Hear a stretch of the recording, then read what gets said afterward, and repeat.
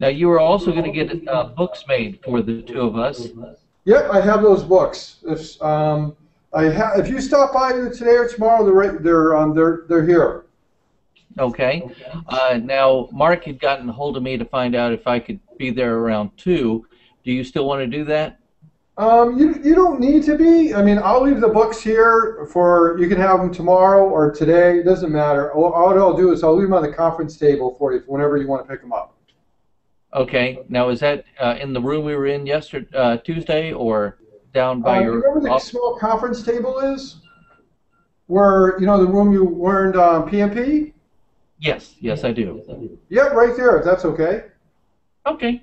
That sounds fine.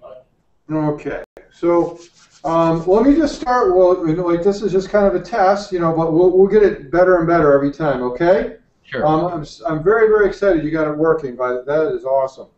All right, so I'm going to first start with what is um, Six Sigma, and Okay. basically we have phases that we have to um, utilize. And the first phase is going to be the define phase. And as we go through, I'll, sh- I'll show you more. But um, you can see the first slide is just the title.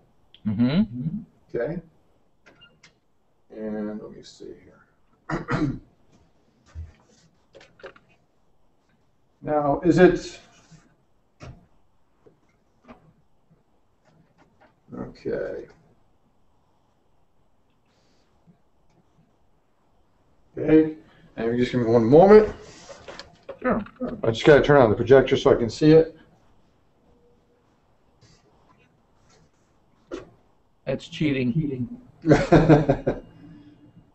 okay.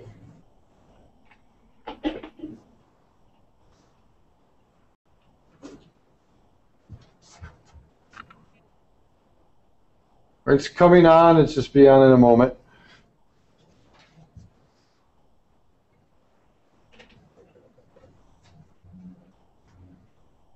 Okay.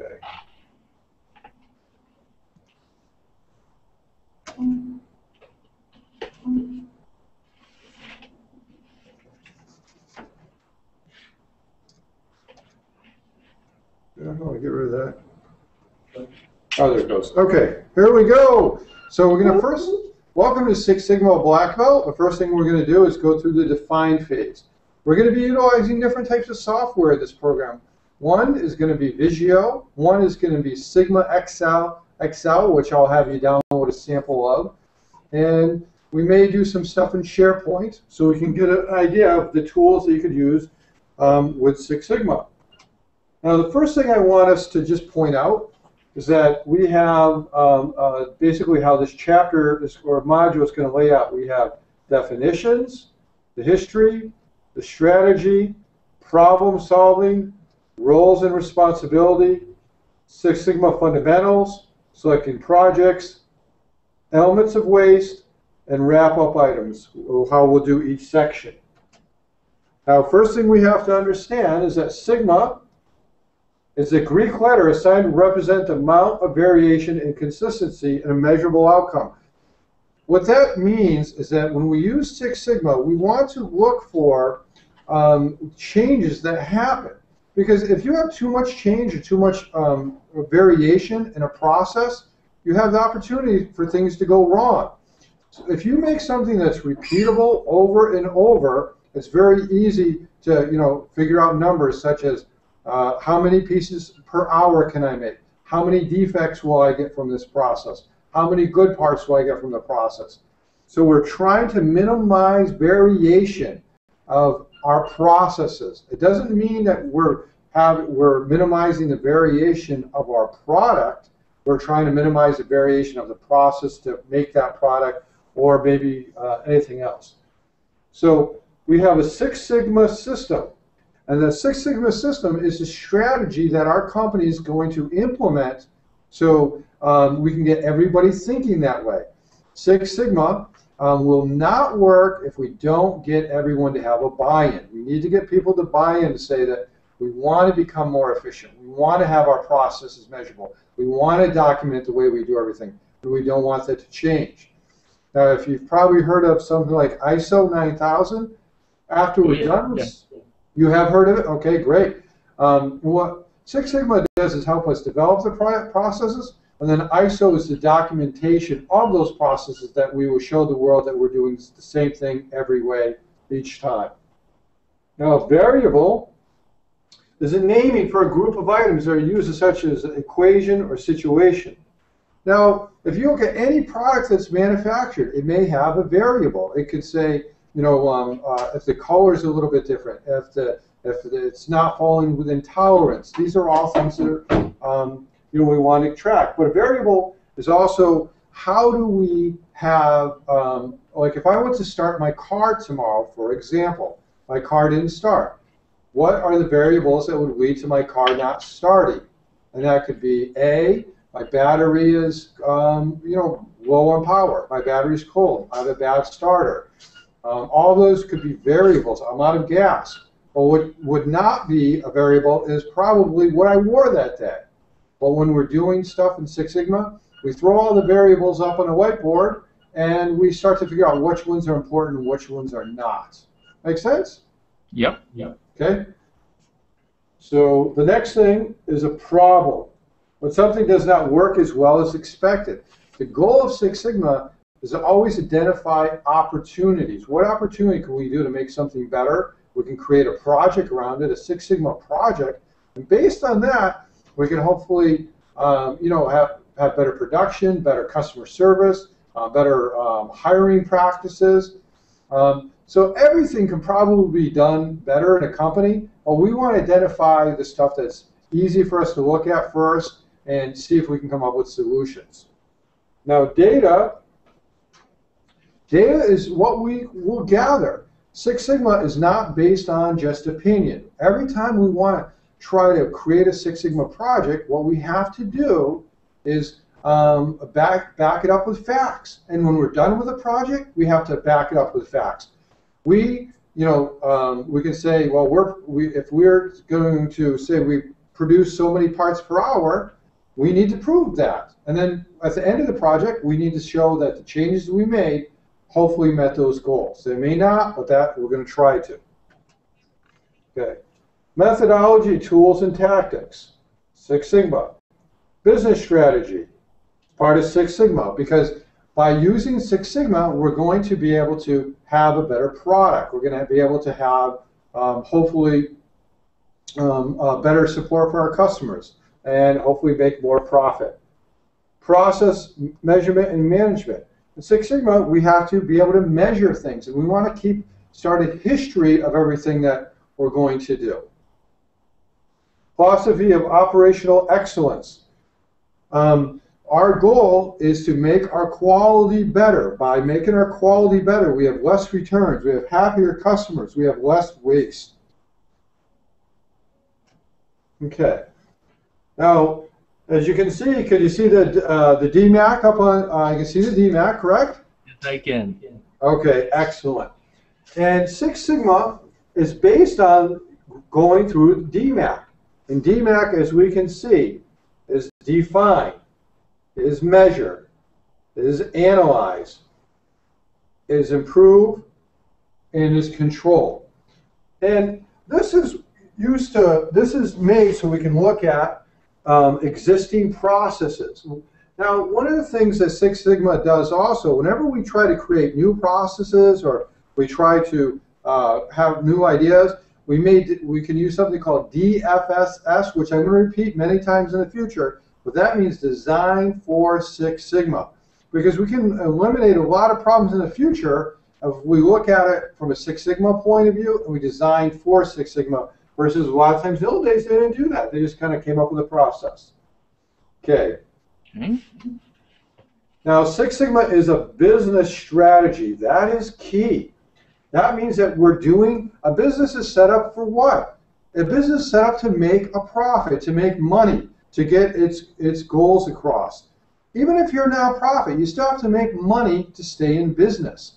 So it is part of the strategy what you're going to hear later is something called voice of business. What does our voice of business want to do to make sure that we can ensure the success of our company in the future? And one of the things is by lowering our variations, we can it becomes more dependable. And that's the key to Six Sigma. The less variations we have, the more dependable our product is, the more dependable our data is for um, predictability um, of anything we need done. Now, if you can see in Six Sigma, they have a little, they have um, this bell curve here, mm -hmm. and and if you can see, they have right in between here. That's kind of our sweet spot. And this line right here, this right in the area, there you're going to hear that term medium, uh, median. I'm sorry. Uh, sometimes we're going to use the word median, uh, average. That you know we want to try to find out what the middle ground is. Right. Okay. And we're going to see a lot more about that later.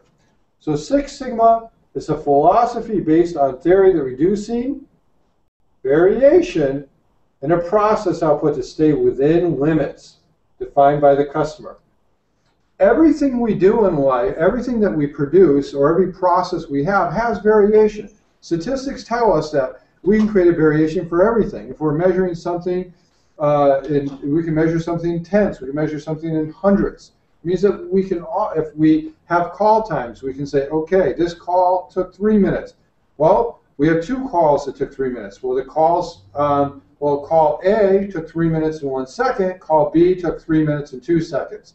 So we can keep showing that there is a variation, but because we know that, we have to set up what's acceptable to a customer. And customer support, we may say first call resolution should be five minutes. Uh, but we can't just say five minutes. We have to, in Six Sigma, say it could be four minutes to six minutes. Five minutes would be where we want to be, but we have to have an upper and a uh, lower limit set. Any questions? Nope, so far so good. Okay. Now defects are expensive. Now in the old days, we didn't, you know, a lot of times defects weren't tracked as well as they are nowadays. Well, whenever we see a defect, we have to think how much of that defect costs us? Because it's not just scrap material that we're wasted or, or raw material. It's all the labor that goes into that, all the labor that has to go into replacing that part. If we have a defect that goes out to a customer, it's a phone call for the customer to return that. We've wasted their time. We've wasted our time. We have to send them a new part. And, you know, um, uh, how does that look to the customer that we sent them a bad part? So defects overall have a huge impact on our company, so we have to keep them as low as possible. But that does come at a cost. If we put too much, you know, uh, um, if we say we're going to have zero defects, that's unreasonable, and the cost to maintain that would be too much. So there is a big, big balance when we're working with Six Sigma. Okay. And we just have some terminology that will help us understand this a little bit better. We have defects. Uh, a defect is anything that can be on a part that doesn't meet our standard. Now, defects per unit. Uh, something as simple as a marker or a can is going to have defects. Um, you know, a, a, can of soda could have color, the tab's wrong, the soda isn't filled up, the ingredients in the soda is wrong, the, uh, the can has a dent in it. Many, many things could be a defect. On a computer, there's hundreds, if not thousands, of things that could be considered defect on that unit. Uh, parts per million.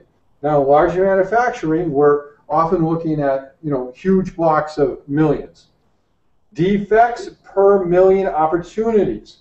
Now, this is can be utilized a couple of different ways, but Six Sigma is based on trying to reach only 3.4 um, defects per million uh, opportunities, which is very, very low. Most companies will never reach that. Most companies will float around a 3 Six Sigma.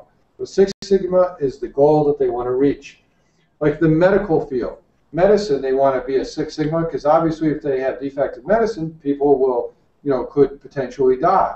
But somebody who's hmm. manufacturing other products may never hit that. Okay. Now we haven't heard the term roll throughput yield yet or first time yield.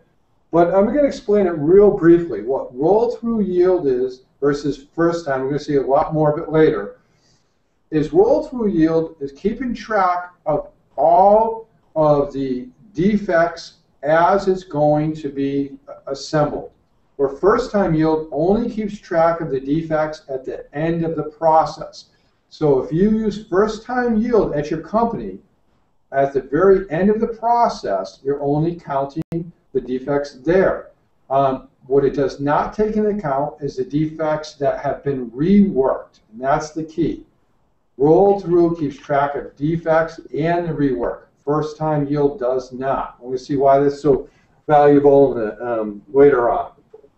And the sigma values is what Mhm. point did we hit? So we one, four, five, and this will be easier. This is just an introduction, but you can see that parts per million opportunities is what this is, and COPQ is um, uh, uh, cost of poor quality. Cost of poor quality just means that by manufacturing bad parts, you know, we're going to have problems. And as you can see, Robert, 99.9% is pretty good yield.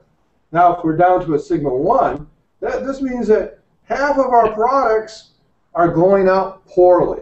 And so we probably won't stay in business very long if we have that bad of a sigma. Okay. And it simply says on the bottom, what does 20 to 40% of our revenue represent in your organization? And almost every organization, that's the difference between staying in business and going out of business.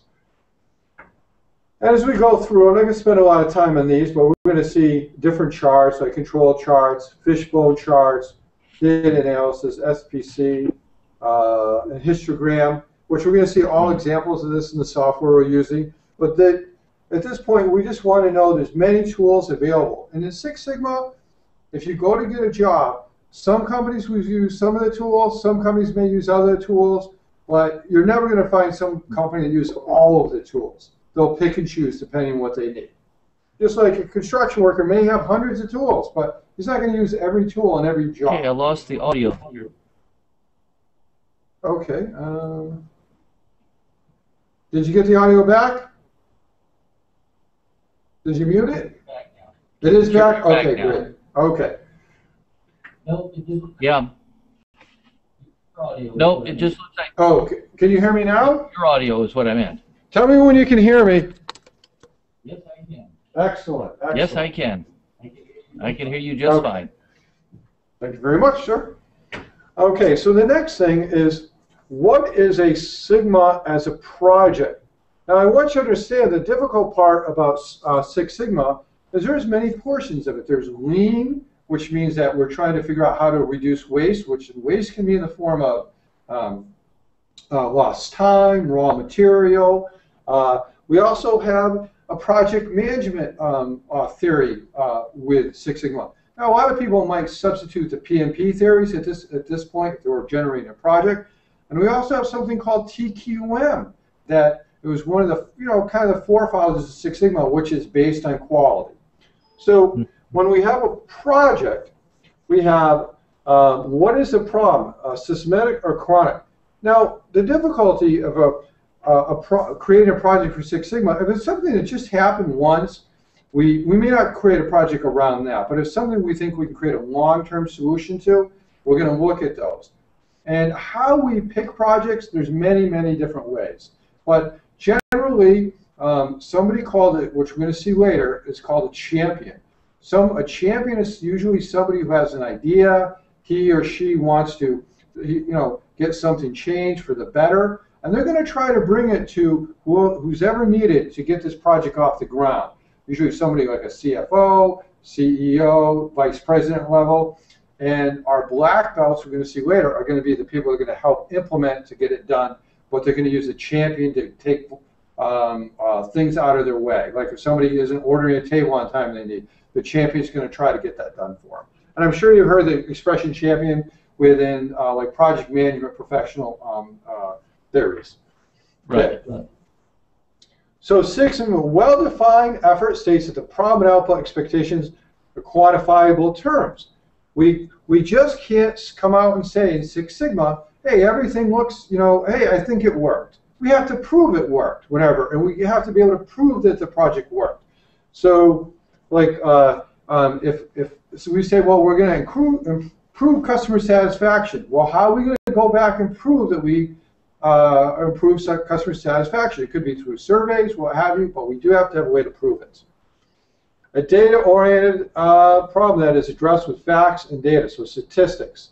So Six Sigma is very, very heavy in statistics. Ten years ago, when people were black belts, they didn't really have very good software out, so you really had to have a um, probably like a six month statistics class before you even did Six Sigma. But now the software will do almost everything you need. There's very very few people that have to learn the st- statistics at that level. Statistical solution, data driven, confidence risk, and before you start any project, any change of a process, you have to be able to determine what the risk is. And this is where we take in a lot of the financial people because they're gonna they're really gonna grill us on everything. Everything that we think, they're gonna say, well, yeah, thank you that. That's part of the risk, but so isn't this, so isn't this, so isn't this. And we, need to have a really general picture of how much money we're gonna spend. Six Sigma is not uh, great for small companies because the average Six Sigma project is going to cost at least two hundred thousand dollars. But getting people to think like Six Sigma isn't a bad thing, even if you are small. Okay, control plan. Develop method to assure long-term sustainability of the solution. We are not here for short-term solutions. We need to be able to control it. How do we check the progress? Now, a lot of times what we'll do is we'll document the process, make sure people are following it. They could have checklists. We could um, uh, make sure that um, our measuring equipment is correct. We will use samples all the time to make sure everything's being done right. And we will constantly train people and retrain them to make sure that they're doing it right. And we'll keep checking that they haven't made any changes. Make sure no one's taking shortcuts. Practical solutions are not complex, expensive, or irrational, ready to implement. Now, overall, the processes or whatever the project is may be pretty intricate, maybe extremely intricate, but the, the different portions of it need to be um, simple, need to be simple to implement. If we make the each uh, level difficult, it's going to be very hard for us to keep Six Sigma in the company because people are going to say it's too hard to work with. So you may have a very, very complex thing, um, but you need to keep it simple for the people that you're you know, giving uh, assignments to. Okay. Tangible results have measurable, quantifiable, financial, strategic value. You're never going to get somebody to sign off on a project if you can't prove financially it will benefit the company or strategically it may improve uh, the standing with your customers.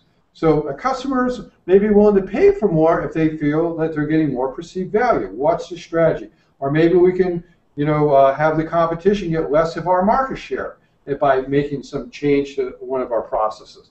For example, if you buy a computer and you know that they pick up, uh, the customer service picks up within, you know, let's say two minutes versus somebody else that picks up within 10 minutes. That's your strategic value. You didn't necessarily add value where you're making more money off of each product, but the customer is more happy, which will hopefully uh, create repeat business. Okay. Now in Six Sigma, one of the things we want to do is we want to prove the concept, right? Um, we have to prove that it works. What's the easiest way to prove something to somebody? Start with something that's simple. And they call this ground fruits simplify, and standardize. Get successes as you go.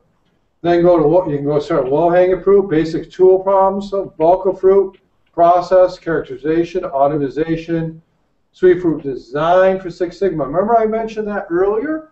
This D, uh, DFSS. Once we start really working with Six Sigma, we get people bought in. We want to, it's a proven fact. We need to start saying, before we make any new things, let's remember how Six Sigma works. Okay, so how do we get to this thing called Six Sigma? Well, originally, this gentleman named Bob Galvin, he started the basis of the theory of Six Sigma.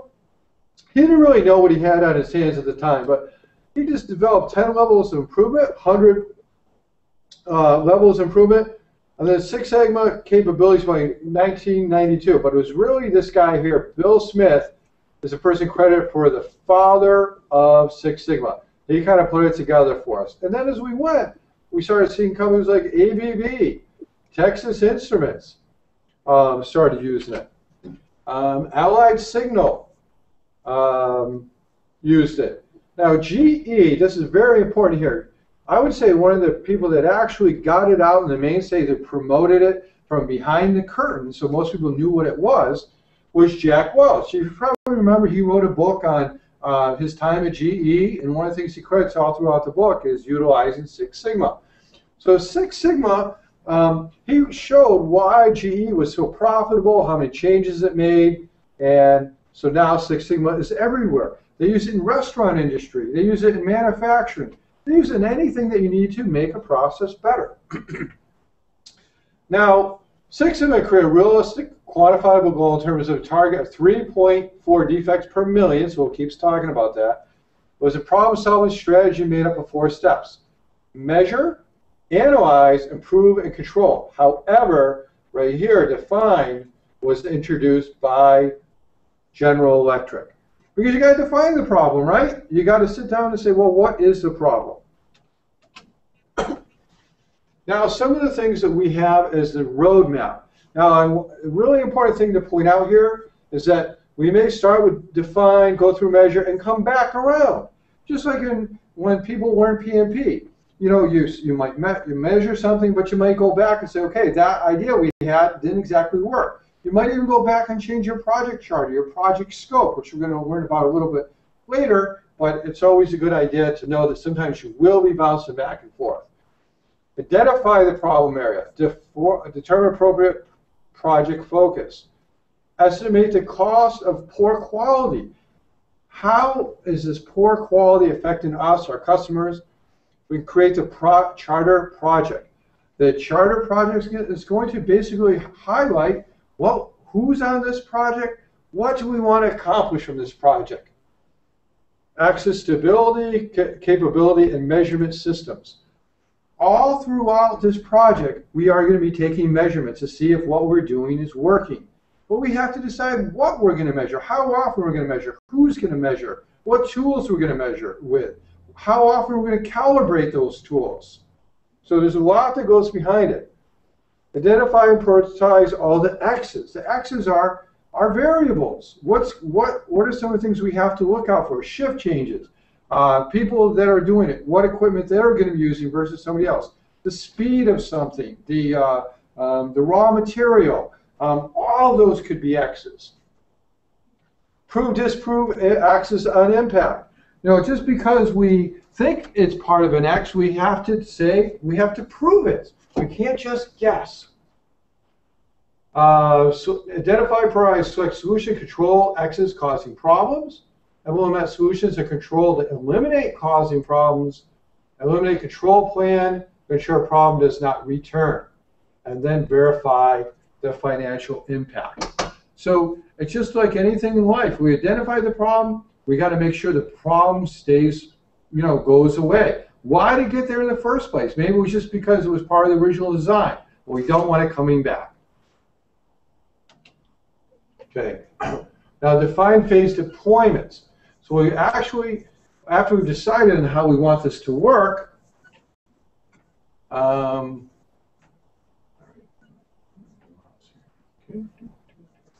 okay, now you can see that we have um, the business case. Now the business case is is kind of like think about if you went to a uh, you were a lawyer and you you had to go to court. You have a case. you have to prove your case. You have to you have witnesses. You have to have uh, people that um, uh, you know agree with your case. So it's the same thing in business. We have a business case. We have to prove to the people that we work with why this is a good idea. Now we're going to notify and stakeholders of you know um, who's involved uh, with this case and the progress.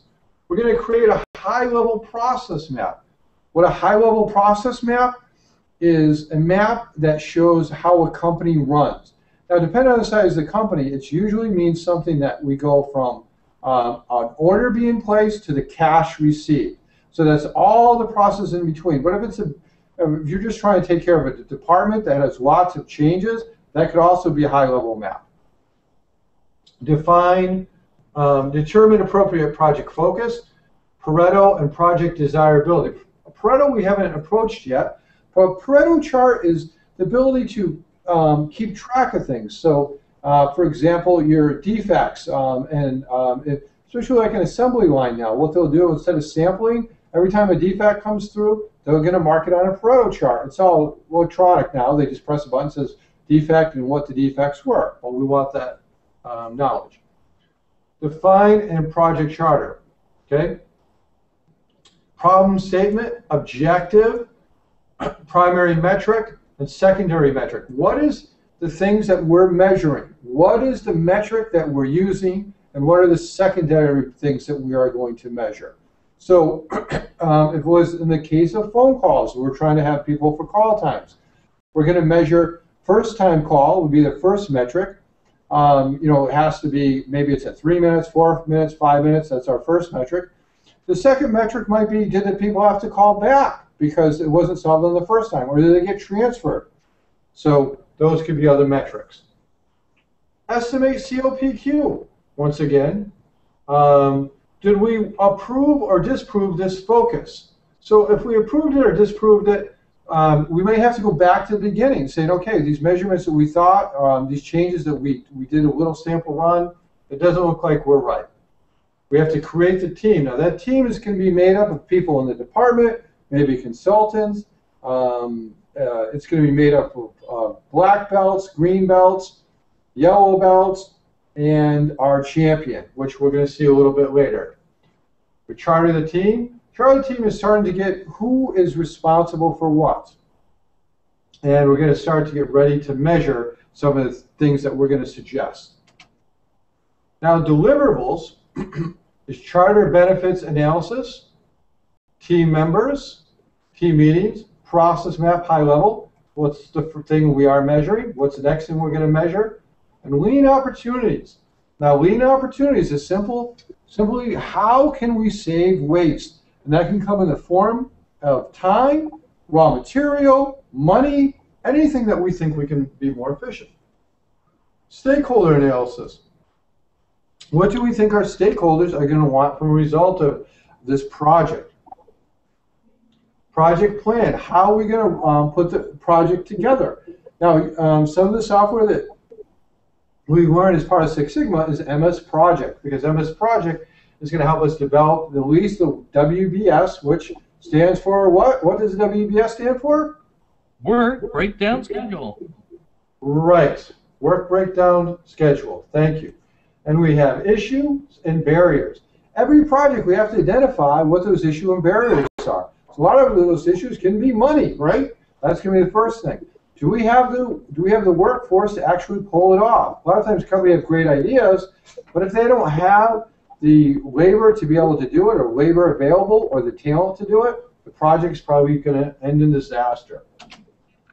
Okay, Six Sigma places emphasis on the process. Uses a structured data-driven approach centered on customer Six Sigma, can resolve business problems where they are rooted, for example.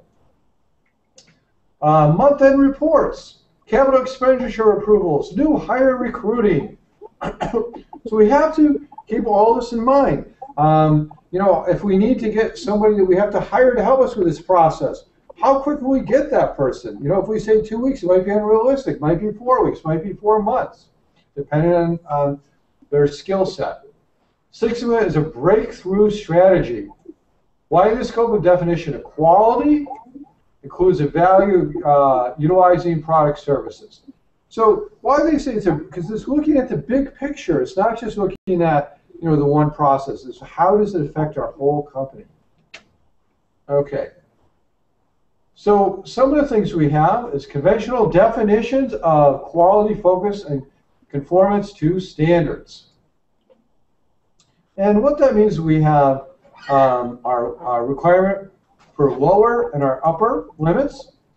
And we want to have a strategy or product service that meets certain specifications. For good or good quality and performance standards. Now, one of the things that we do want to keep track of is rework. In the past, rework wasn't kept track of. It was just considered part of doing business, cost of doing business. But with Six Sigma, they want us to use roll throughput yield, so we're keeping track of that because see how much that product actually cost us. Efforts were overlooked, unquantified time, money, and equipment. And many, many small companies that we have will see that. All they care about is getting the product done getting it done as fast as they can, and everything else is secondary. They don't keep track of the defects and how much it costs them. Basically, how they would do a quote is to say, okay, you want 5,000 pieces produced in a smaller company like uh, injection molding. We're going to produce those 5,000 at this cost, and they kind of estimate. You know, it's more of a, a guesstimate than it is a real estimate. Instead of taking all of their expenses into place. At the end of the day, they hope they made a profit by you know putting like a 50% margin on everything they do, or putting a 60%. Well, the truth is, they might have been able to get away with a 30% margin if they knew all their costs, or maybe the person needed a lot of setup time. Maybe they should have a 70% markup. But it's hard to put those in factors if you're not keeping track of everything. Okay. Understand the relationship between independent variables and dependent. Uh, as vital few independent variables affect the dependent variables, and optimizing the independent variables to control are dependent. So simply, um, and, and everything process that we do, um, variables are affected by each, uh, each other. Um, some variables can be completely independent, um, but many do depend on other ones. Other ones may work perfect if the variable before them worked perfect. So for example, with me starting my car, um, we know if I have a very good battery in my car, um, you know, that's one variable that may be independent. But if I'm looking at more like my, if it could be something else like my starter. Well, my starter might be great, but is my solenoid bad? You know, I mean, there's there's all kinds of stuff that can affect the variables. I'm not an auto mechanic, but just to give you an idea. Monitor the optimized independent variables. Well, in Six Sigma, we're always looking to see what little pieces we can improve on. In a process, there might be 20 variables that have to change, that can't change, but there might be three other ones that can change. What can we do to optimize those? Okay. It's basically use common sense. So in this example, we have uh, a crusher yield. How and the feed, speed, material type, tool wear, and lubricant. These are all things that can affect our, our um, process for, uh, for a crusher. We have to look at each one of these. Which one of these can we change? Can we make it uh, the feed process better? Can we speed it up? Maybe the speed is too fast, and that's why we're not getting the results we want. Are we not? Do we not have a good maintenance program? So the tool wear is having more effect than we want. In the old days, there was not a lot of good maintenance program. Basically, if it fixed, they sent somebody out to fix it. Now what we try to do is see how can we fix it before it breaks. And that would be a good maintenance program. Time to close. So for accounting, how long does it take to close our books each quarter? Trial balance, corrective accounts, sub-accounts, memos, and it can be used for anything. What are the variables? Okay, so we're always inspecting the X's, uh, testing time. So we're always, always looking at it. So if you want to take a minute break, what you can do, uh, or you can do it later, it's not a big deal, but to make a good cup of espresso, what are some of the things that you would say that would help make us a good espresso? Uh, what are some of the things you would think would make a good espresso, or would affect uh, the making of it? I would say uh, water, quality of the water, Water is a great one. Mm-hmm. And uh, the type of coffee, whether good coffee or bad. Good and good coffee. Yep. How hot it's brewed. Uh, how hot it's brewed. Uh, the skill of the operator. Excellent skill of the operator. And I'll just throw like one last one is how often the, the pot's been cleaned or you know, any of that stuff. But you're, but everyone, it's if you really look at it, it's not that difficult. We're always looking at the factors, the x's that would affect our eventual outcome. Thank you. So in this in this case, they show that we have a lot of factors, but we have to filter it down to which ones are important for Six Sigma. So we'll filter down. It's or you know, uh, I, I prefer to, uh, think of that as a filter more than a funnel. And we just have to find the ones that are going to be most important for us to concentrate on. And I have a little joke here. Archimedes said, give me a lever big enough and fulcrum on which to place and I shall move the world. So that's essentially saying to us that Yes. we can make change. By utilizing the DMAIC problem-solving methodology to identify and optimize the vital few variables will realize sustainable breakthrough performance as opposed to incremental. We want to try to use a DMAIC so we can get to um, every our process to be better long term, which we've already talked about, but Mhm. just to reinforce it. Now, here's what drives us to create projects in Six Sigma, drives us to change changes in the uh, processes. First, one of the most important thing is voice of the customer. So the voice of the customer is going to tell us what they want. It might be through surveys, it might be through complaints, it might be from going out and meeting with the customer. Um, it can be many, many things. Customer calls us and they tell us what they think. Um, or maybe because they're buying the product from somebody else that makes a similar product to us. So voice of customer is obviously the most important because they're putting revenue in our pockets.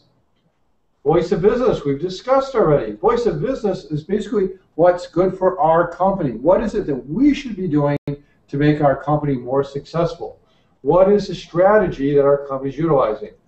VOE is a voice of the employee. Now, a little bit trickier to get because the voice of the employee, many employees do not really want to speak their mind because they know it can fall back on them.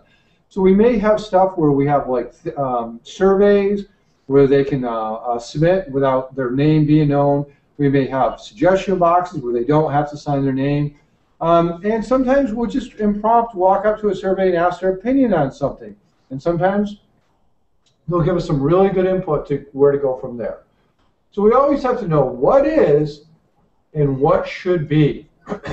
now, in the old days, a lot of times the upper management did not involve the people actually working on the floor. They basically just said, here, this is what you're here to do. This is your role. My role is to be the one to come up with better ideas. But now with Six Sigma, our job is to involve everyone that we can that's part of the process so we can see how to better the process.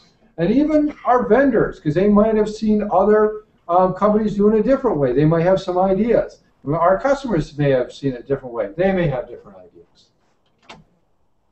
Okay. So this will take us to our belts. What does each belt do? Now, when you first start off in Six Sigma, the first belt that most people go for is something called a yellow belt.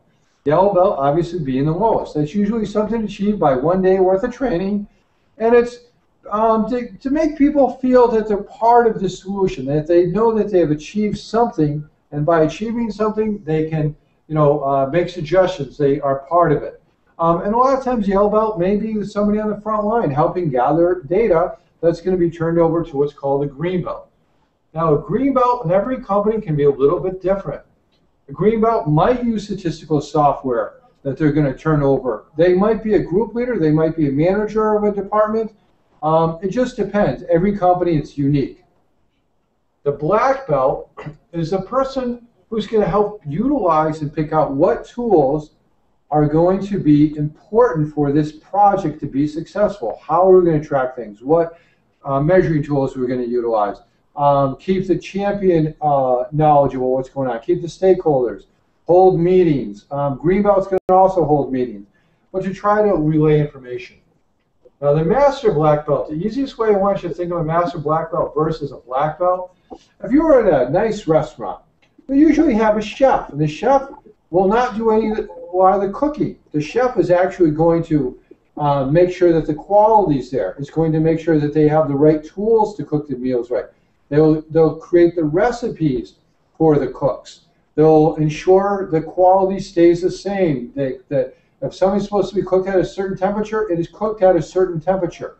So the chef is the one who kind of comes up with the plan, makes sure things work, where the cooks or the black belts are going to make sure that everything's implemented. Any questions? No, clear so far. Okay. Now, not all Six Sigma deployments are driven from the top executives. Now, the data is clear, however, those deployments are driven by executive management are more successful than aren't. Essentially, if you want to make a change in a company, if you can't get the executives to buy off on it, you're always going to have resistance. It doesn't matter. You know, if the bigger a company is, the more people you're going to have resistance. And it's just human nature. I have a job. I can barely keep up with the job I'm doing now. That's part of op- operational management. So most people have a role in operational management. Now you're saying, well, I need you to help me on a project and do your day-to-day job. So if you can't go to upper management and say, I need help to get these people to, you know, take on this task as well as their current job, it can be very difficult. Okay? Um, okay, so, so one of the things we want to do is set meaningful goals and objectives for the corporations, set performance expectations for the corporation, and ensure continuous improvement in the process and eliminate barriers. Okay. Now here's our friend the champion, which we already mentioned. The champion identifies and selects the most meaningful projects to work on.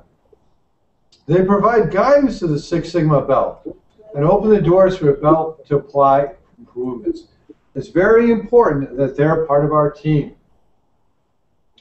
They own project selection, uh, obtain needed project resources, eliminate roadblocks. They're the people that, if something takes a month to order, they're going to try to get it there for you in a couple of days. Participate in all project reviews. Now, with the introduction of uh, Skype and video conferencing, they may not be physically in the meeting sitting there, but they're going to attend the meeting. they need to ask good questions. Hopefully, they've been on many projects before. One to three to per four uh, per hour week commitment. They need to know what's going on, but they're not going to be there as part of the daily operations. They need to know what's going on, but they're not going to be there as part of the daily operations.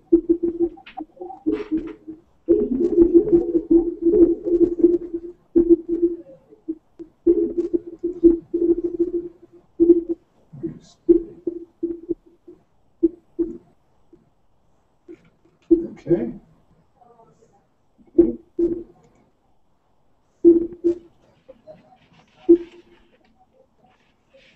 All right. So, um, Robert, can you hear me okay? Can you hear me okay? Yeah, there's a there's something else I'm hearing. Is there something else going on around you? No, it's. Um, did, did you did you move your speaker?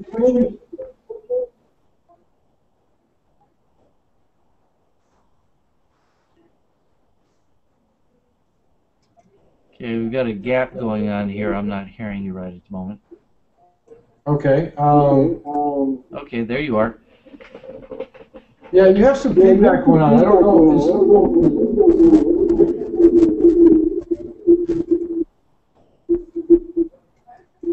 did you move your microphone or speaker up? Uh, no, I'm trying to uh, turn the volume down a little bit so it doesn't interfere. The speaker's built into the monitor. The the microphone's built into the monitor.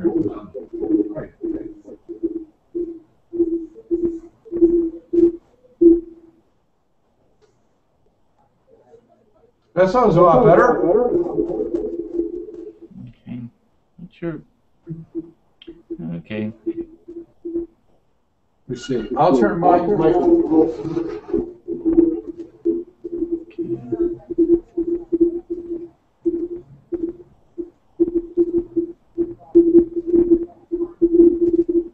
I'll end this broadcast. Another one. Another one. Just give me one second. I'll send you the new link. Okay.